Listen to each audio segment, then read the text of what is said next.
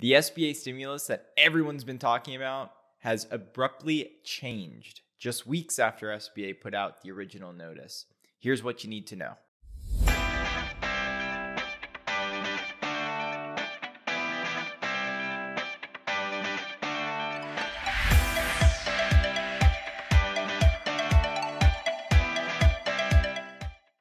Hello, and thank you for joining the Art of SBA Lending. I'm your host, Ray Drew, and this week the topic is SBA stimulus. Now, you might say to yourself, Ray, didn't we just talk about this on the podcast just a few short weeks ago? Yes, we did.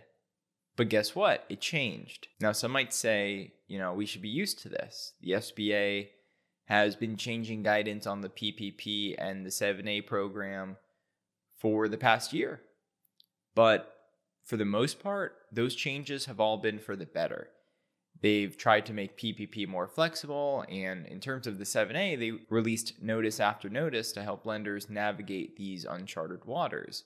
But this is the first time that they've made a change that was much, much worse than the original guidance. Basically, for new 7A loans approved from March 1 to September 30th, 2021, the SBA is now going to only make three payments instead of six payments, still capped at nine grand a month. For the pre COVID portfolio, which is loans approved before March 27th, 2020, they're going to provide only two months instead of three, with an additional three months instead of five for the harder hit industries. For loans approved and fully funded March 27th to September 27th, 2020, there are no additional payments versus the original guidance, which said maybe they'll get payments if there's some funds left over. But now the new notice basically says they're not getting anything. And then for loans approved in that time frame but closed or fully funded after September 27th, 2020, the original guidance said they're going to get six payments. Well, now they're going to get three. And then finally, loans approved between September 27th, 2020 and February 1st, 2021. Still get nothing, no change there. So, existing portfolio aside, this whole push we've been making to promote these incentives for small businesses to borrow money and start businesses, expand their business, all that, it's now kind of muddied because instead of six payments up to nine grand a month, they're going to get three. And they're still going to get the SBA fee waived, and mind you, this could change again. And hopefully next time it's for the better.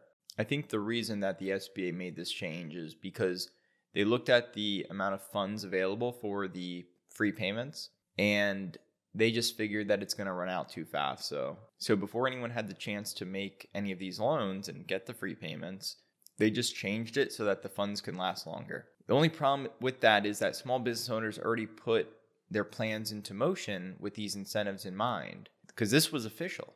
Guidance had already come out. To pull the rug out from under these businesses is uh, an unforced error.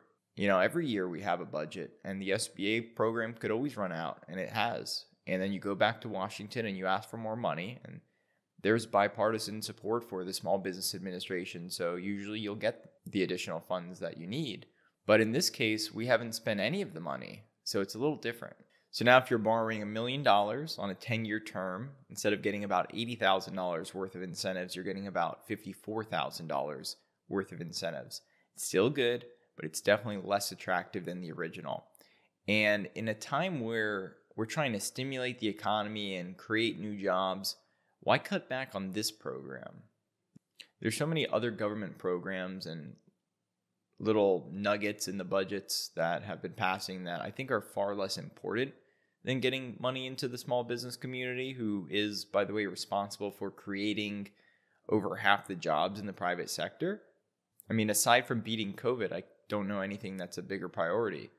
And I don't think Congress is opposed to that, but the SBA, I guess, has been dealt a tough hand where they have to figure out do we provide what was in the original legislation and just have the funds run out really quickly and create a potential firestorm? Or do we scale it back now, create a firestorm now, and then try to make the funds last a little longer? And potentially, maybe small business owners can get these additional payments down the road once there's more funding.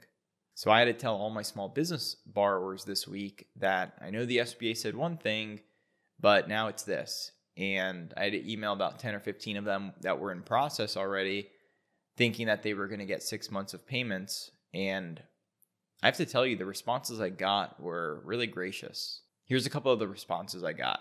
What a pity. Six months would have been really helpful. Anyway, we are grateful for what we get. Nice. Thank you for letting me know. This does not change my decision about buying the business. It was just a nice little extra bonus. Hopefully, we can close before the fees come back. Okay, fair enough. Appreciate the update. I am still very happy with these three payments as I didn't even know I was going to receive incentives in the first place. Gotta love that. You know, I'm located down here in South Florida, and we have a large immigrant population, and the majority of my borrowers are actually immigrants, and they have to work for everything that they get, and I love working with them for that reason because I'm the same way. And this is just yet another example of them not wanting to take anything for granted. They don't want a handout. They considered this a nice bonus, but still disappointed. And I'm sure a few of them will reach out to their representatives and senators and express that, and they should. So the lesson here is that the guidance is still ever changing. And not only do we need to wait until guidance comes out before we start talking about changes to these programs, we have to also caveat that with this may change, which makes it really difficult for small business owners to plan. But that's the world we live in right now. The goal here is just to educate and serve the information to the small business owners and their advisors on a silver platter because it's complicated and it's changing and it's hard to make sense of it when you're having to also deal with all the other things that small business owners have to deal with this year and last year. So our jobs are really important right now and we need to make sure we're being clear, accurate, and informative in the marketplace.